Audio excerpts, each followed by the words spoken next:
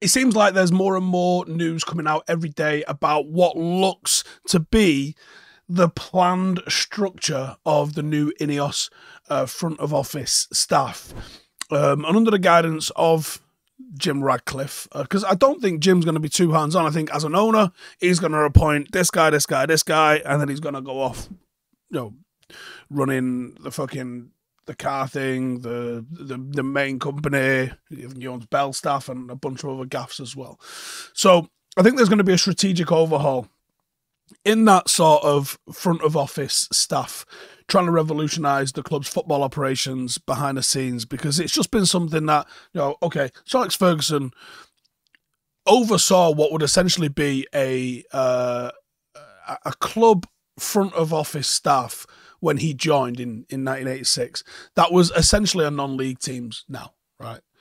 You know, I, I probably have as many people that work with us, obviously not full time, but at Paddock as, as Sir Alex did in, in 1986. So the job and the sport has grown around Sir Alex, where he had his fingers in all of those pies. He was essentially the head of the academy. He was essentially the director of football. He was the manager of the team. He was our head of recruitment. He did all of those things and he delegated like chief scouts like his brother and a couple of other people helped him out with it. But he was probably wearing five or six hats um, at the end of his Manchester United career. Now, when he left, there wasn't the structure in place and he was replaced with, uh, you know, essentially Ed Woodward, who was kind of doing a lot of that sort of stuff, not to a great uh, degree of success, it must be said. We brought in various different um, people in terms of the scouting and recruitment. Him and Matt Judge had a bit of a hand in it. Latterly, we've seen John Murtough get involved, and you know there has been uh, various people uh, starting to take up those sorts of tasks. Uh, and of course, there was you know a de facto head of academy um, it was Brian McClair at one point under Sir Alex, but you know, Sir Alex was the guy that was steering the ship from a directorial point of view, whether or not he was given that official title or not.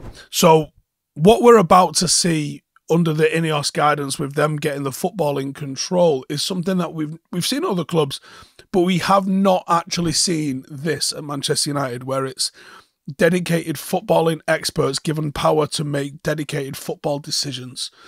Know, and there's going to be a, a focus on really reinforcing and bolstering that um, backroom structure. Something that's hopefully going to enhance United's ability to not just scout top talent, but attract, retain, streamline the financial packages rather than being forced to just dish out fat salaries because it's the only thing that we can offer and we've left it too late in the window. We don't have alternate targets. If you start working on three or four targets and you go in, you know, with middling sort of offers, one of them is probably going to accept. Well, then you go with that one rather than being forced to put, you know, 300, 400 grand on the table to get a, a player over the line um, and convinced. You know, hopefully there's strategies to to think about what we've already got in the academy and integrate those youth pro- prospects and then begin elevating overall performance standards across the board. You know, this concerted effort under Sir Jim's leadership hopefully represents a, a determined step towards modernising the way Manchester United work uh, and hopefully leading a, a promising era of improvement uh, and innovation, which we did used to be known for. You know, I've spoken about this on countless times. Sir Alex Ferguson, um, well, Mal, Mal uh, Bhagavan basically created the sports science revolution, and it's never spoken about.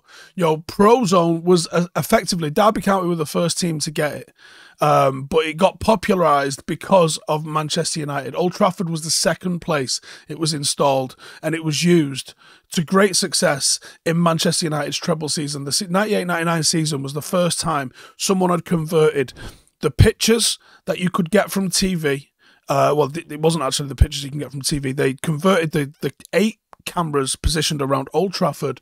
They used logic and algorithms to create a 2D picture, and then they had actual analysts code it up for passes and tackles and shots and, and this, that, and the other.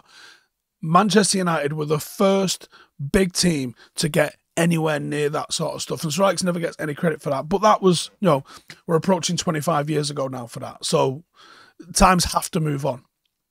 Uh, and they will move on. So let's look at some of the names, some of the faces, and some of the people that uh, we expect are going to be involved. Now, obviously, not all of these have been uh, announced or, or, whatever. Uh, we're just sort of hoping there's some things click into gear. Um, and let's start with number one, someone that I've been on to for absolute years, uh, and that is Paul Mitchell, recruitment expertise specialist in recruitment across European clubs.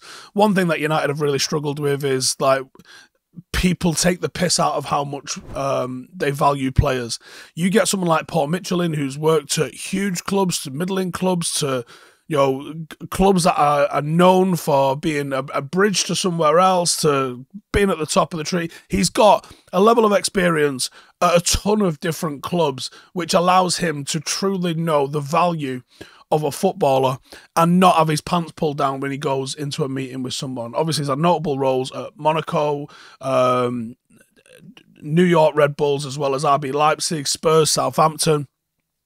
A ton of experience across the gaff. Initiated the recruitment division uh, at MK Dons um, and is, is credited with a hell of a lot of genius work, uh, including, I think, um, Son is is one of the names that's on his uh, docket. So done well there. Potential role at Manchester United would probably be either deputy director of football or literally just head of recruitment. He's got experience in aligning recruitment alongside managerial styles. So that's something where, you know, he can buy players that are going to fit what Ten Hag wants. He might also be someone that gets involved with uh, lining up potential replacements for Ten Hag. Whether he goes or not, just having someone ready to rock and roll. Proven track record in talent acquisition. He's got a name that is known, um, and his contact book is probably ridiculous across Europe. Um, and he's also everywhere he's been, there's been a progression of youth into the first team as well. So I think that's uh, a big bonus for him. His Premier League record, um, the key signings he made at Southampton and Tottenham, bit of a mixed record at Spurs, with both successful and unsuccessful deals. Big success, like I said, in, in Heung-min Son, one of the best players I think we've seen in the Premier League. Uh, credited with a lot of the successful signings at Leipzig. Players like Schick, Haidara, uh, and Nkunku. Um, you know, all of these players have been ended up getting linked with Manchester United, or have eventually had moves elsewhere. Uh, seems to be selective with high quality signings over just getting in whoever. Next up would be Jean Claude Blanc, probable CEO potential, successful at Juventus in terms of rebuilding and financial reconstruct uh, reconstruction for them. Led uh, Juventus to Serie A dominance because of sustainable uh, financial strategies. Instrumental in Juventus owning their stadium and securing financial stability. A very successful tenure at PSG, transforming the club into a global brand, which is probably the thing which I think makes the most sense uh, aligning to what Manchester United have got the key deal being that Jordan brand one, which transcended football. I think that was uh, impressive.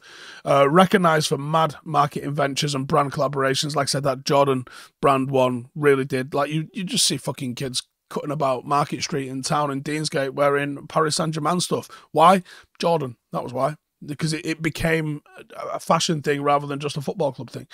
Um, potential role at Manchester United, I think CEO uh, se- seemingly already played a key role in uh, Jim Ratcliffe's purchase or you know stake purchase. Um, I think he replaces Richard Arnold. He's obviously got uh, expertise in financial management, debt reconstructing, marketing strategies. Uh, I believe he's got some uh, experience when it comes to TV rights and innovation in those sorts of things, which I think there's a lot of growth for with United, uh, and his potential for significant structural changes and certainly brand enhancements because I think even though people say, "Oh, the Glazers done really well," look at the revenue that they've they've made. Yeah, everyone else's revenue has gone up like in three, four times, and ours has gone up like two, three times. Like we've actually not grown anywhere near as much as we should have done uh, in the last eighteen years. So I, I think someone that can come in and actually do it from a sports perspective smashes it. Dan Ashworth. Um, this should have been laughed out as a rumor when it happened. The fact that it's not makes me think that there might be something in this. And everyone's like, oh, he's got a 12 month notice period at Newcastle. Let's see how that goes down, shall we? Because whether or not there is a 12 month notice period or there isn't a 12 month notice period, as a competitor, if if United come in for him, they're not going to make him work his 12 month notice period. And whether this is morally right or legally right. I could see him working on gardening leave, right? So I wouldn't worry about it. Anyway, um, he's a very, very, very respected name in English football. Um, ascended from academy roles to sporting and technical director at West Brom. Massive role in establishing technological step ups uh, for global game recording. Uh, notable signings and integration from West Brom and the English FA. Uh, successful spells at Brighton. How, look how well Brighton are. Uh, yeah, and then Newcastle has been a big part of their recruitment drives. In terms of his role at Manchester United, um, I, I don't know what his official title could be because he's kind of going to sit semi alongside um, Paul Mitchell in this, I would think, because they, they do have semi overlapping roles and responsibilities in this one. But I would think with the recognition he's got from enhancing academies and talent identification, Dan Ashworth might be someone who sits more alongside the identifying talent that we can bring in at that 16 to 18 kind of age range and integrate them into the first team before creating first team players. So I think he's more of a pathway. Um, so maybe he's like some sort of an, an, academy recruitment or you know academy transition or something along those lines. Don't know the the exact title, but I can see it being something like that.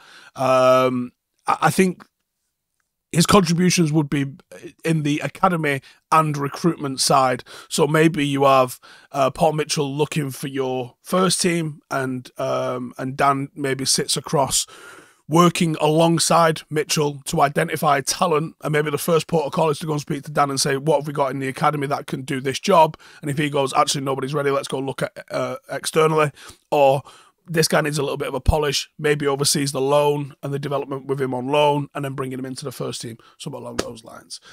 Um, so Dave Brailsford. Now, as we've seen, he's not going to be putting the cones out on a Monday morning. That's not what he does. Uh, marginal gains, pioneer, um, brought in that theory in cycling, uh, have seen seemingly tried to translate that into football. It's basically a culture of continual uh, development and improvement, attention to detail. They use a lot of data driven decisions, uh, trying to create a competitive edge. Big on enhancing player welfare, which is something I'm I'm a, a big advocate for. I think that Premier League teams, you know, you, you buy a hundred million pound player, uh, that is an asset to the business and to the football team. Are you doing enough to look after him? Are you allowing that player to settle in the area? Are you making sure that you know the the wife or girlfriend that they bring over is going to be happy and settled in the area? Are you making them help make uh, to make good decisions in terms of where they live, what schools their kids go to? You know, he's big on that sort of stuff. Um, very adaptable, very innovative, um, and he talks a lot about sustaining success. So it's not just about can we go and win one trophy and then all relax and smoke cigars. It's how can that be repeated and, and, and continually improved upon. And while football and cycling are very distinct, obviously there's a lot of principles in terms of the athleticism that I do cross over. Marginal gains can be adapted to suit absolutely anything, um, especially within sport and the unique demands from sport. Um, I think if you embrace the philosophy, United could unlock a new dimension in the performance. Um, and with the, the budget and the money that United have got, United should be looking at being the innovators in this. Why aren't we funding studies at American colleges to to see what the impact this does. Why aren't we funding that? Manchester United should be a global leader in that. That place at Carrington should be a fucking university. Should be as many motherfuckers cutting around in lab coats as there is in training kit, in my opinion. You know, let's let's do uh, qualified studies. Maybe uh, uh get a tie up with Loughborough, get a tie up with an American college, get a tie up with you know Manchester University, whoever it is. But conduct experiments rather than just waiting to see what uh, stuff comes out from the, the, the, the cutting edge of science or, or whatever, be the cutting edge. What's the impact on traveling the day of a game? What's the impact on traveling a day earlier? What's the impact on maybe recovery if we fly home immediately from a Champions League game? Or what happens if we stay an extra day and conduct a training session and then fly in the middle of the day where it's not disrupting sleep patterns? Like, do that. Do science shit. Find out what the actual optimum thing is and get it fucking done. That's what United should be all about. You know, there's one of the most difficult things um, about recovery is sleep, and sleep is one of the most important things. Like genuinely, sleep does so much; it might as well be a steroid. It's that good for you. Well, why aren't we conducting more and more studies into sleep? What if it was something as simple as when you travel, take the pillow that you take from home, it's got the right scents and smells on there, and the comfort of that on your head might elicit a better sleep than just random ass hotel um, sleeping does. Now, you know that there's uh, your first night sleeping anywhere, you get a bad night's sleep. Did you know that? If you didn't know that, that's that's fucking go look it up. I'm not lying to you. And one of the reasons for that is that the human mind thinks this is an unfamiliar place. I'm going to stay half awake, so half of your brain stays awake in your first night sleeping somewhere. What impact does that have on performance? Can we delay our travel? Can we adapt our travel? Can we find a way around that? Is there a way for us to mitigate that? And like I said, something like taking your own pillow, I don't know if that's true, that, that actually impacts something. I'm fucking talking shit. I'm a YouTuber. I'm just throwing it out there. Get some science guys, some motherfucker with specs and a clipboard. Get them to study it. That's what that whole entire philosophy should be about. Now, just having the attitude and, and, the statement that we saw come out on Friday, where we're like, we're not asked about trying to make money here, we want to win trophies. That's a start, right?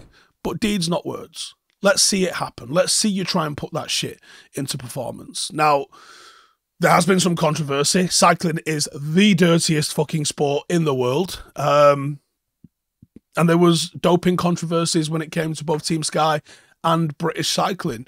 No charges were found, but there were ethical concerns raised. I know some of you lot in the comments are going to be like, who gives a fuck? Bring 21. Who cares? Ultimately, I personally also believe that football is dirty, but they cover it up. We know that the FA cover up um, failed drug tests for whatever reason. The FA can't say they've got a zero tolerance to drug abuse because they don't, because they will hide it up. You see so many players that are injured for two weeks when they're actually serving a drugs ban. You think the fat lad's chatting shit again. You go Google it. The fucking information is completely out there. It is happening on a regular fucking basis. Now, why are they covering up all this? I don't know. Go and have a look what happened in the treble season and the charges that were brought against Juventus the the the EPO usage that was rampant in Italy in the late nineties. It's out there. I, I I'm just amazed. It's no one's been caught. And what's quite funny is I'm a UFC fan, I'm an MMA fan. MMA and UFC went through what's known as the steroid era. Well, they drug tested during that era and the drug tests were as stringent as the Premier Leagues currently are right now. And I say the Premier Leagues, that's not casting aspersions at the Premier League in particular.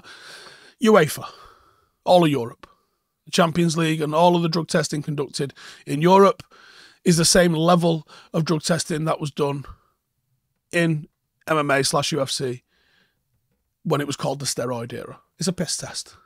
It's not consistent. Um, blood taken over a certain period of time so you can notice changes in the, the structure of it. It's just a, a very simple piss test. And people that know how to beat those piss tests call it an intelligence test.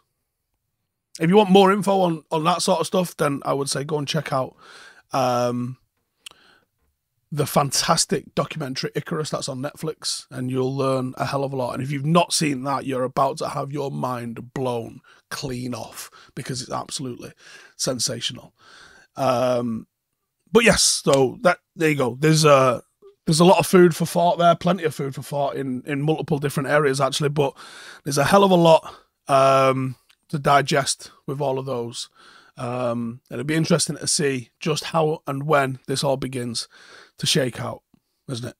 Anyway, thank you guys for watching. Get your comments and questions and all the rest of that sort of stuff.